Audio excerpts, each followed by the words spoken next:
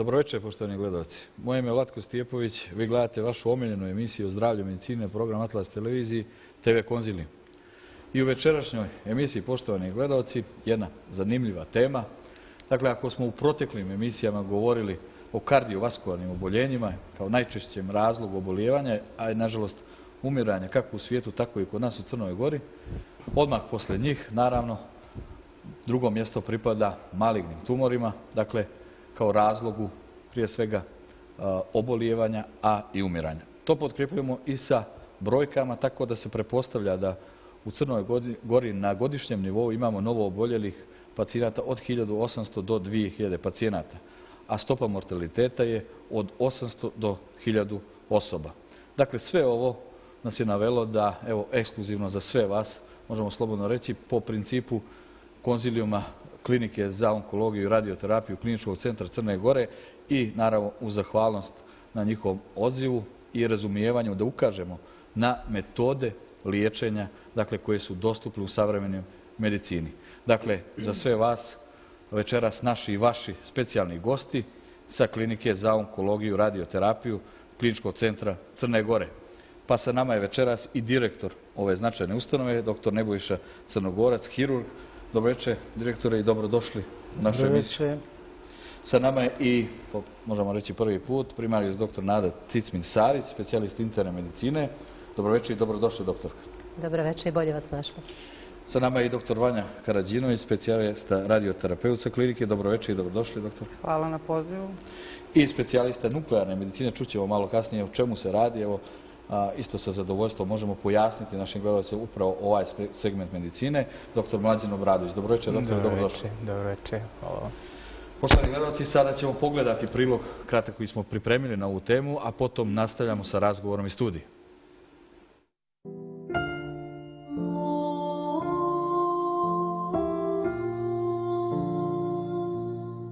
Ne postoji način kojim se može ublažiti surovo saznanje kada neko boluje od karcinoma. Pred ovom riječju niko ne ostaje ravnodušan. Uznemirenost i strah, ispunjen neizvješnošću, obuzima ne samo oboljelu osobu, već i bliske članove porodice, prijatelje, poznanike. Posle prvobitnog šoka, svi se usmjeravaju na istu stazu. Stazu traženja lijeka. Na toj mukotrpnoj stazi oboljelog čekaju neizvjesnost, ispunjena bolom, patnjom i nada se strahom od mogućeg ishoda. Ljekari, zavisno od oblika zloćudne bolesti, njene uznapredovanosti i mjesta u organizmu, pokušavaju da pronađu najbolje rješenje u smislu liječenja. Hirurgija, odnosno operativni zahvat, zračna terapija i hemoterapija predstavljaju vidove liječenja oboljelih. U ponudi terapijskih mogućnosti oboljeli donekle sebe smatraju srećnicima ukoliko se dogodi da je operacija indikovana i vid liječenja. Nažalost, rijetko se događa da operativni zahvat bude i konačan u liječenju, bez primjene zračne ili hemoterapije. Hemoterapija je vid liječenja kojim se lijek citostatik unosi u organizam intravenski ili oralno, djelujući sistematski, odnosno u cijelosti na organizam, za razliku od kirurgije i zračne terapije koje predstavljaju vidove lokalnog liječenja. Lijekovi citostatici imaju cilj da dospiju do ćelija raka i unište ih, što je najbolja varijanta. Citostatici djeluju na ćelijskom nivou različitim mehanizmima, sa krajnjim efektom ubijanja zločutnih ćelija. Tamo gdje to nije moguće, citostatski lijekovi inhibiraju, odnosno koče ubrzanu diobu kancerogenih ćelija, sprečavajući na taj način da zločinni tumor dalje raste. Različite maligne bolesti su različito osvjetljive na hemoterapijske lijekove. Za neke vrste zločudnih bolesti hemoterapija se smatra najefikasnijom metodom liječenja ali je važno sa njom liječenje započeti što ranije. Rana primjena hemoterapije bitna je kod operisanih, gdje je ovaj vid liječenja indikovan. Hemoterapijom se nažalost ne djeluje samo na zločudne, nego i na normalne, zdrave ćelije organizma. Citostatici svakako uništavaju izmijenjene ćelije, ali djeluju i na neke zdrave. Citostatici su agresivni lijekovi koji uništavaju ne samo kancerogene ćelije koje se brzo dijele, nego i zdrave koje se također ubrzano dijele.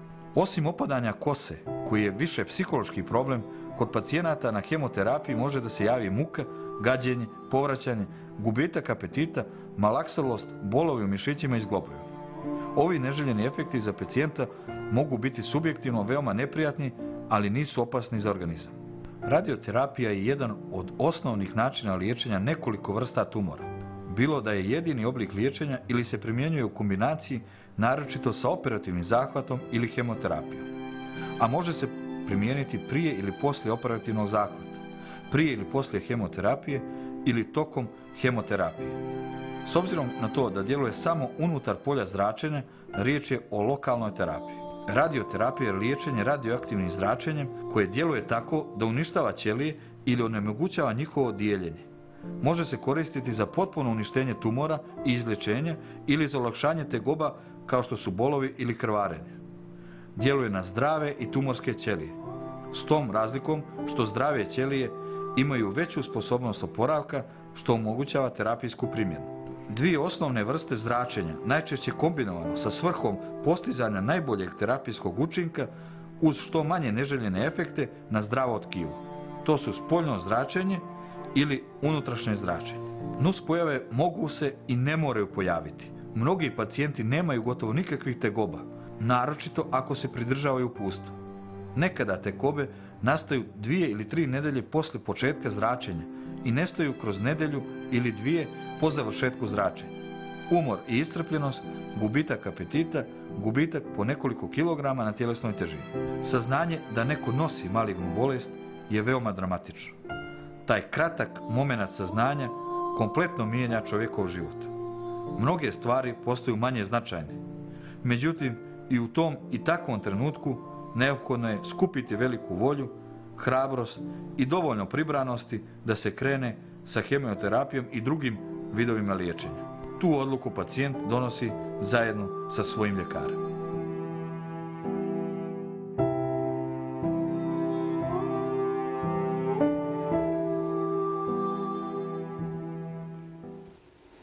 Poštovani gledalci, pratite emisiju TV Konzilium. Naša centralna tema jeste mogućnosti ili metode liječenja karcinoma i naši i vaši specijalni gosti večeras ljekari specijalisti sa klinike za onkologiju, i kliničkog centra Crne Gore.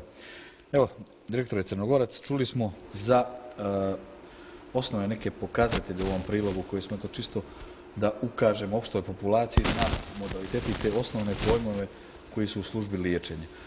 Možete nam malo približiti, s obzirom da imamo i večeras ovdje zaista ekskluzivni, ovaj, možemo slobodno reći, i pristup o, metodama koji je predsrtan maltene sa klinike, pa malo pojasniti našoj opštoj populaciji koje su danas metode najzastupljenije i da li mi pratimo te tokove, naravno, u našoj klinici za onkologiju i radioterapiju. Kao što ste i sami rekli, i naglasak u savremenoj onkologiji je na multidisciplinarnom lečenju. Znači, kao što obično znači, diagnostika i terapija počinje sa nekom hiruškom intervencijom, cilj hirurga je da ukloni što je, ako je moguće sve, znači čitavu količinu malignih ćelija koje postoje, e, znači naravno praveći što je moguće manje dodatnu, e, ako mogu da kažem, štetu za organizam. E, nakon tog lečenja osnovnog, početnog, gdje se mi trudimo znači, da uklonimo, da budemo što radikalniji, znači radikalnost je pojam koji se, odnosi na naš pokušaj da gotovo definitivno rešimo problem. Međutim, zbog prirode malignih bolesti, veliki broj tumora već u trenutku diagnostike ima mogućnost da se raširio. Zbog toga, znači da se raširi.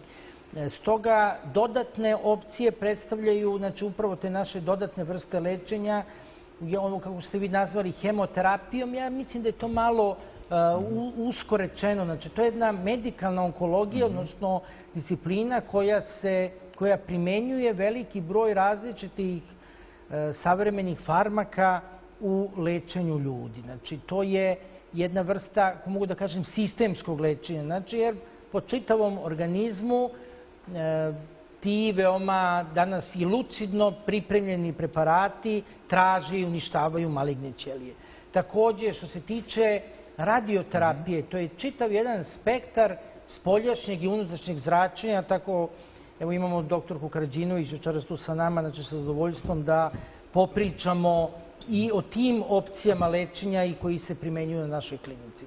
Tako da ta multidisciplinarnost ostaje oznaka savremene onkologije. Znači, jedan tim koji leči, kako se mi ovde večera zovemo konzilijum, tako i mi kroz konzilijni rad pokušavamo da povežemo sva moguća znanja koje savremena medicina ima i u diagnostici i u terapiji malignih bolesti, e, sa odabere- naročitim naglaskom na preventivu, recimo, kako izbeći maligne bolesti, kako živeti, na koji način živeti dovoljno zdravo da se bolesti izbegnu. Kako, ako već bolest postoji, kako je rano otkriti. To su znači sve izazovi pred savremenom medicinom na raznim nivoima, znači počeći od onog javno-zdravstvenog, ako možemo kažemo preventivnog rada, do načina tretmana, lečenja ili ono što mi zovemo e, terapije. Možemo li se ovdje, ovaj, evo, rekli ste dilom, doktore, e, zadržati na upravo te konzilijume? Dakle, da pojasnimo e, našim gledalcima da uopšte nije slučajno ta odabir metode liječenja, tako kažemo, ili postupka liječenja nekoga kome je već diagnostikovan ovaj, e, maligni tumor. Dakle, da imamo s- da tako kažemo, po granama ili već, već ovaj, gdje je zastupljenost karcinoma i konzilijume koji donose odluku da li će se primjenjivati jedan vid terapije ili će biti kombinovana terapija. Da li je tu ovaj, e, osnova znači, za dalje liječenje, za indikaciju daljeg liječenja? Naravno, današnja savremena medicina je jedan veliki kolektivni zajednički rad i napor da se nađe ono što je najbolje za svakog konkretnog pacijenta. Znači, mi s jedne strane imamo individualizaciju, odnosno individualni pristup svakom pacijentu, jer svako je za sebe e, jedna potpuna 100% no- novina na ovoj planeti Zemlji. Tako svako sebe smatra, neću da kažem najvažniji, ali zaista moramo svakog pacijenta u njegovoj sveokupnosti i fizičkoj i psihičkoj da posmatramo i da tretiramo. E, sa jedne strane, znači, individualizacija pogleda ka pacijentu, s druge, specijalizacija lekara koji se bave lečenjem e, tih pacijenata. Tako da je taj izazov stalno usaglašavanje ono što je za nekoga najbolja terapija, možda nekome drugome nije. Znači mi moramo e, masu dodatnih, veliki broj dodatnih faktora da uključimo i godine i fizičko stanje i neke ranije bolesti i da- sad ne, e, ne mogu gotovo da to e, potpuno precizno. Znači veliki broj mogućih mogućih načina na koji možemo tretirati pacijente. Za svakog pacijenta tražimo najbolji mogući lek, a nekada ima i više načina koji su dobri. Znači upravo ti konzilijumi služe našem sučeljavanju, da razmenimo mišljenje, znači da pred pacijentom pokušamo da nađemo, znači bez sujete, sa željom da, da svako doprinese u okviru svoje discipline na najbolji mogući način da se pacijenti leče na najadekvatniji način. Znači kako savremena medicina e, nalaže. U redu, hvala, nastavit ćemo. Evo, doktor Kacicmil,